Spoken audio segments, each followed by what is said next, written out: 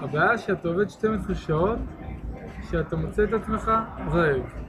עכשיו, פתרתי את הבעיה בצורה פשוטה. קניתי לחם מהמינימרקט, הבאתי אותו איתי, אבל הבעיה היא שאין מה למרוח. אז הלכתי למעדניה, קניתי לי גבינה, שעלתה לי קצת הרבה כי זה גבינה, לא יודע, משהו לא ברור, אבל זו גבינה טובה, ו... ועכשיו אני אקח כפית קטנה שהביאו לי, ופשוט אמרח אותה.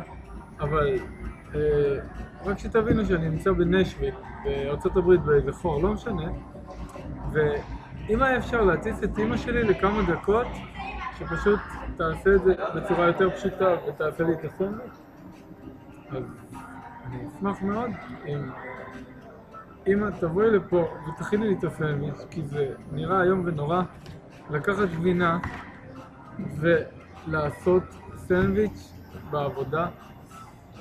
אבל בסדר, לא נורא, תסלחו לי הפעם, פעם הבאה אני אביא את הסנדוויצ'ים מראש מהבית ולא אעשה את זה באמצע העבודה. תודה רבה ולהתראות